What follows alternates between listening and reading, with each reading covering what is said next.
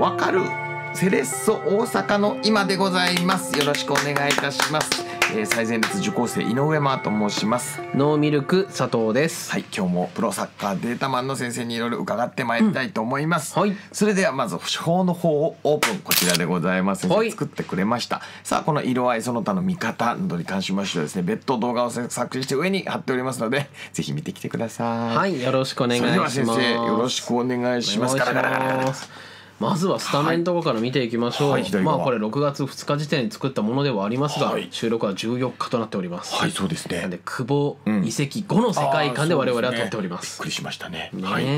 でまずキーパー、うん。キム・ジンヒョ。ン、はいまあ鉄板ですね。ああそうですね。まあ、ただここをなかなかセカンド、えーファーストキム・ジンヒョンセカンドタンノっていう、えーパターンがずっと続いておりましたが、はいはいはい。まあ、やっと出てきますね、うんえー J3 でまあ主戦場でやってきましたけど、はい。えー今 U20 も経験しました、まあ、うん出場することはかなわなかったですけど、はい。まあ、茂木選手、うん。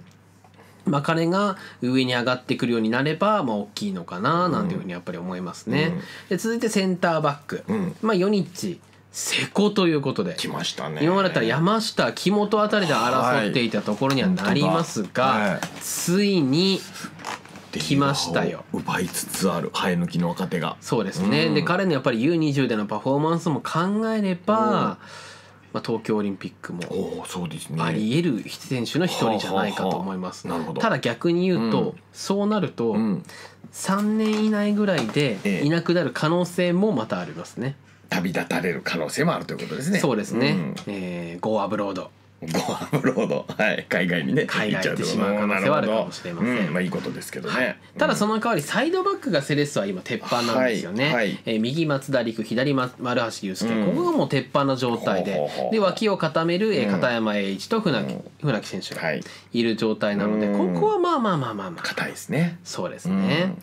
僕はね U18 の吉成選手が大好きなんですけどうん。ね、右い目論んでるますもんね。や僕ならもう使う。ああ使え そうですか？僕は使うああなるほどね、はい。まああの一つずつ育てていかないとまあもちろんそうなんです。ところもあるんでしょ？そう多分ね。なんで僕はもうワクワクしております。なるほど。ってな話です。やっぱまあセレッソもねガンバもこの間ねそうですけどやっぱり若手がね、うん。U23 の方で見れるというのでまた違った楽しみ方ができますよね。そうなんですよ。ここ23年スパンで楽しいですもんね。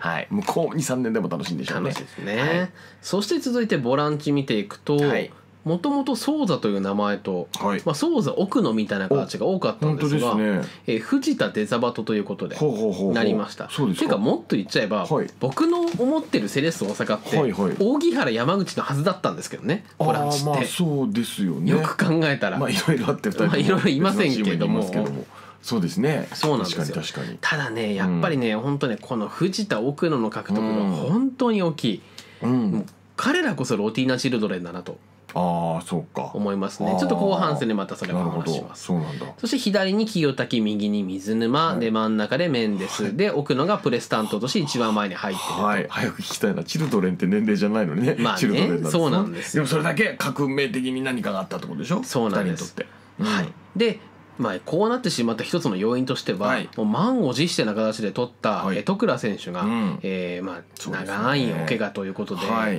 まあ、今年はおそらく帰ってきません。ああまあそうですね。そしてそんな大きい怪我があったはい。傍らで実はうん。ちっちゃい怪我がありまして、柿谷選手がああそうなんちょっとちっちゃい怪我我やって、その後のコンディション不良も伴って、えやっとこの間、えー J3 の、えーロアッソ熊本戦で復活したっていうところがありました、どどのような詳しくは出てないんですよ。そうですか。なんでなんでまあしょうがないかなというところはありますけど、で、えーその代わり、えー台頭してくれたのが、えーはい。高木俊之選手。またね、えーこのいわゆるお互いこの水沼清武奥のあたりの位置を、はい。サポートしてくれてはい。そして、えーセレッソの U23 でもう得点をもう取り続けてくれた山田選手、はい。えーここがでもうだんだんね上に上がってきたのがとても大きいのかなというところですね。はい。うん。で今このロティーナ監督がやっていることはじゃあ何なのかと言われたら、うんうん守備から堅実に入りました。はい。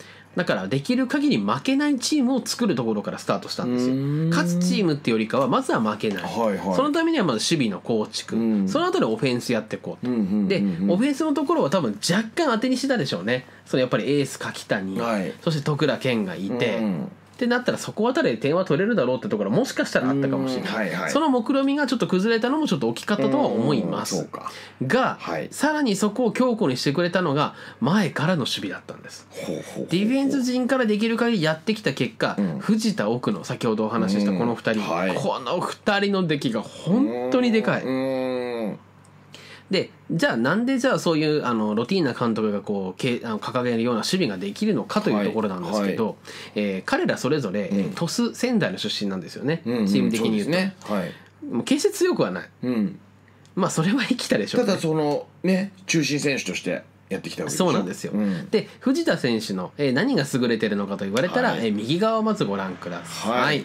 えー右側見ていただけると、うん。えー藤田選手は、えーベースベースチェンジとロングスローという能力値を持っています。はいはいまあ、彼はもともとロングスローワーとして超有名ですから、うんうんうんうん。というか多分日本の中で一番そのロングスローをてまあなんだろう。定着させた。そう定着させたうちの一人は彼で、時代は印象深いですよね。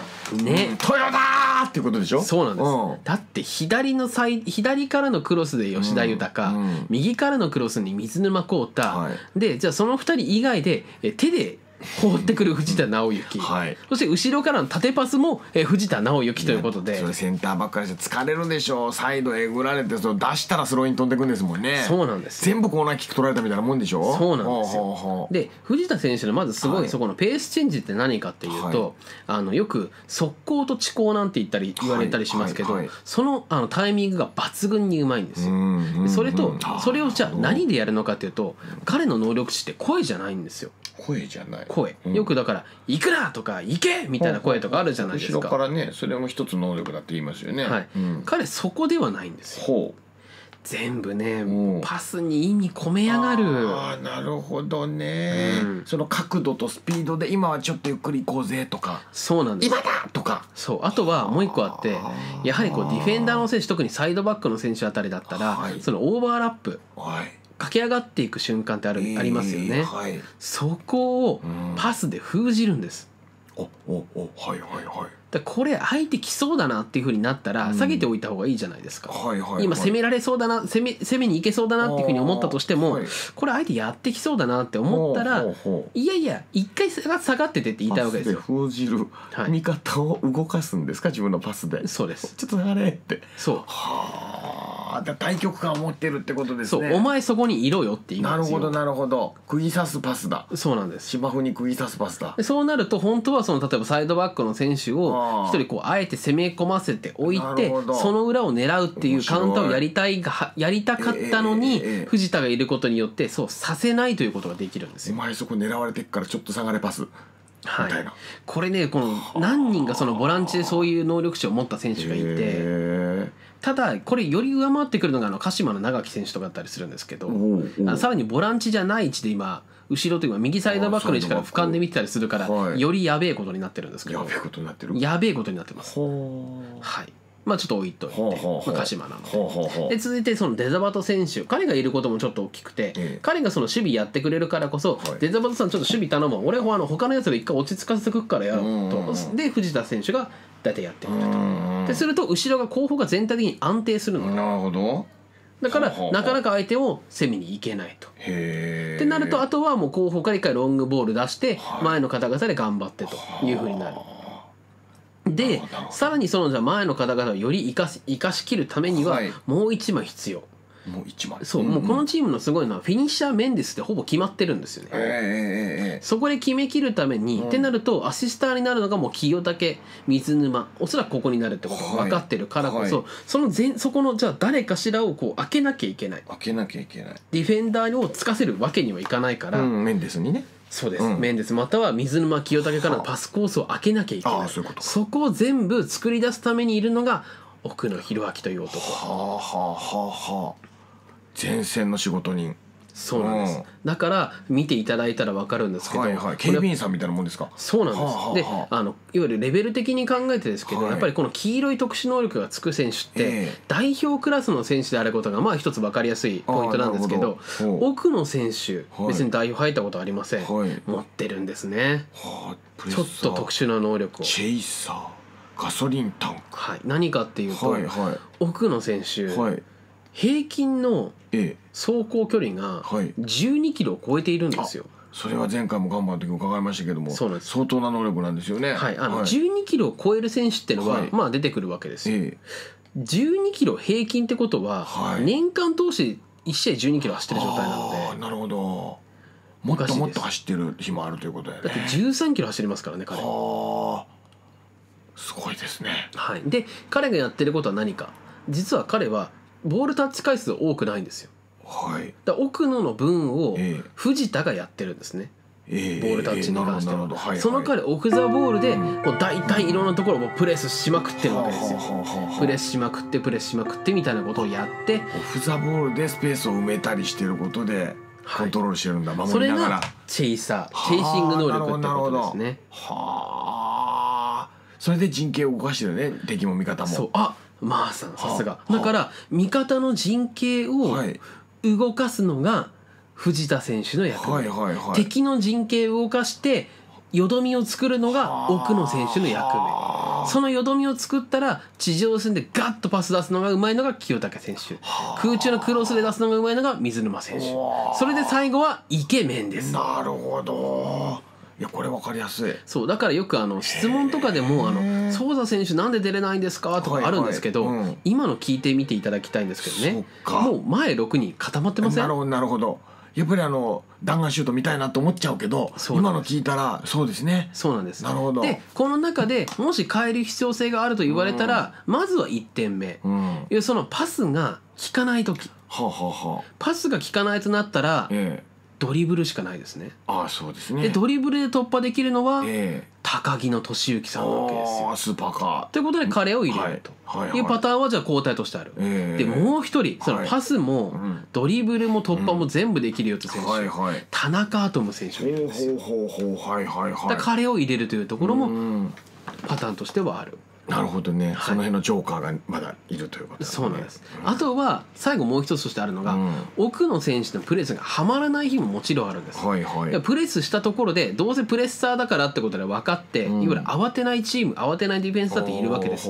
その時にはもうあの単純にそのプレス仕掛けても問題もうニッチもサッチもいかないわけだから、まあ、テクニックだったりだとかもうより攻撃的にいくことによってもう潰しにいけるということで、高木選手入れたりだとか、もしくは柿谷選手、うん。または山田選手の投入なんてのも今後はあるんじゃないのかなというところですね。魅力的なねオプションが揃ってますね。そうなんですよ。だから守備から構築してきて、だんだんそのオフェンスのところまで手掛けられるようになってきたから、おそらくロティーナ体制よっぽど悪くない限りは長期政権なんじゃないのかなと思っていて、に 2, 年とかだけじゃなくてほどね。3年とかの。ええええええやっぱりこうガンバも同じですけどこう入れ替えの時期でもあるわけだもんね若手の。そうですあねー。だからこれで問題なのはもともと山口蛍うん。荻原貴弘杉本健佑はい柿谷陽一郎、おー。あとは清武、まあ、香川とかい乾とかもいましたけど、はいええ。そのいわゆるロンドンオリンピック北京オリンピック世代が大体多かったんですよね。うんうんうん。でそのメンバーから次のメンバーにこう脱却していかなきゃいけないというところで